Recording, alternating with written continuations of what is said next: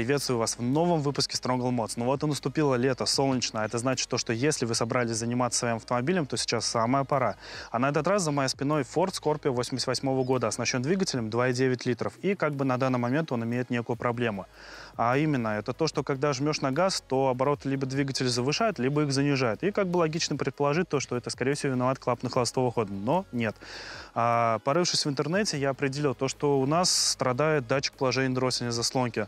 Поэтому сейчас будем его менять, но менять будем его не на оригинальный, так как оригинальный стоит около 10 тысяч рублей. И как бы нецелесообразно тратить такую сумму денег а, за маленькую пластмасску.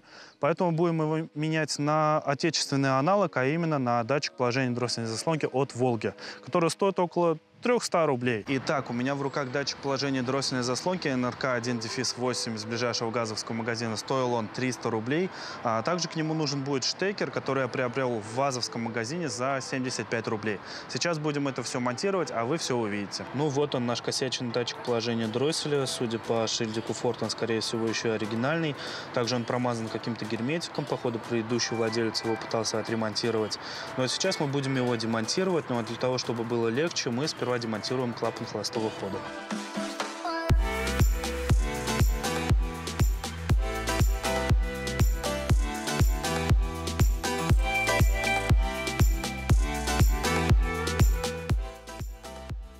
Демонтировав оригинальный датчик положения дросселя, я обнаружил то, что крепежные отверстия с волговским датчиком совсем не совпадают, а, так как волговский датчик у нас в разы больше, чем оригинальный. Поэтому воспользуемся опытом людей с интернета и из любой жестянки изготовим переходную пластину.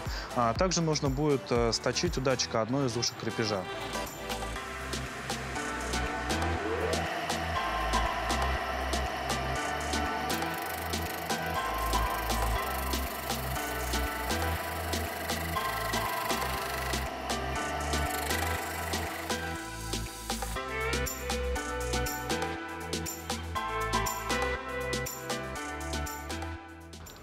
Есть один важный момент, при котором ваш волговский датчик работать на двигателе Ford не будет, а именно это на оригинальном штекере у нас имеется три контакта, один из них отвечает за постоянный плюс 5 вольт, а второй контакт это минус, и третий контакт отвечает за сигнал самого датчика на блок управления двигателем.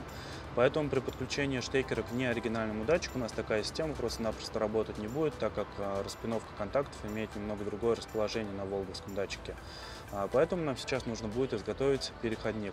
Ну а для того, чтобы изготовить переходник, нам нужно воспользоваться мультиметром и найти на оригинальном штекере, где у нас как раз таки те самые плюс 5 вольт, где сигнальный провод. Для этого берем, в принципе, переводим зажигание в первое положение, выставляем на мультиметре положение измерения напряжения 20 вольт, и с помощью плюсовой, плюсового провода мультиметра пытаемся найти, где у нас те самые плюс 5 вольт. Так, здесь нет, здесь нет.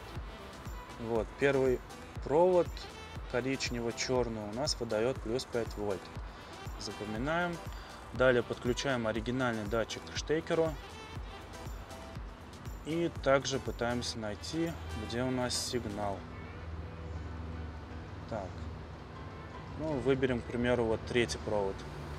Берем отвертку и проворачиваем наш датчик. А, измерения на мультиметре не меняются, значит это не он. Подключаем ко второму проводу. Также проворачиваем датчик отверткой. И вот замечаем то, что на мультиметре показания меняются, значит мы угадали, это наш сигнальный провод. Сигнальный провод в моем случае имеет окраску коричнево-зеленого. Коричнево-зеленый провод. Далее, в принципе, что нам нужно будет сделать, это изготовить, в принципе, сам переходник. И вот так, в принципе, у нас выглядит рабочий вариант переходника. Не судите строго, пока что я его посадил на скрутки, также зафиксировал термоусадкой. А в дальнейшем же, когда я куплю паяльник, то сделаю это все более капитально. Сейчас же я его изготовил из а, двух штекеров, которые я купил в вазовском магазине. В принципе, они стоили не так уж дорого. Один 50 рублей, второй что-то около 75 рублей. А, артикула я их укажу либо в описании под видео, либо в своей группе ВКонтакте, также в Facebook. Сейчас же что нужно будет сделать, это запаковать все это в гофру и, в принципе, можно устанавливать.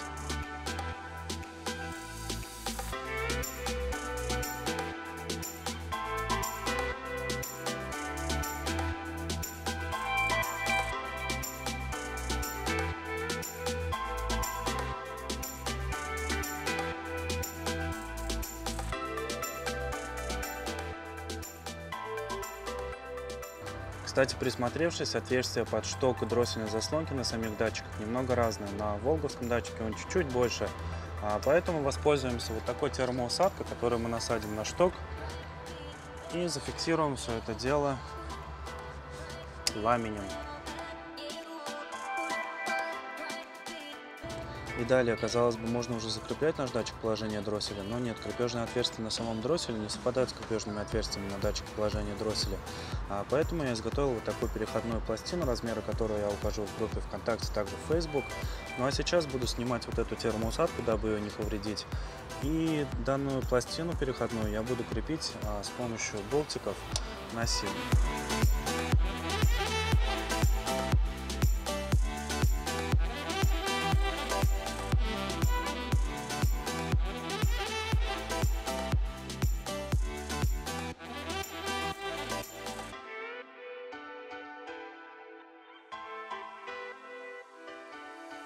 И после того, как мы соединили все это в единое целое и включили зажигание в первое положение, нам нужно выставить напряжение а, полностью закрытого дросселя на датчике. И судя по руководству к этому датчику, нормальным считается напряжение от 0,25 до 0,65 вольт. А, теперь же я с помощью мультиметра подключусь а, к сигнальному проводу и измерю данное напряжение. Ну вот оно показывает 0,59 вольт, это в принципе в рамках допустимого если же напряжение полностью закрытого дросселя выходит за рамки допустимого, то, покрутив сам датчик на штоке дроссельной заслонки, можно, в принципе, выставить то самое рекомендованное а, напряжение. В моем же случае здесь проходит вот а, вакуумная магистраль, точнее, она должна проходить, но она здесь заглушена.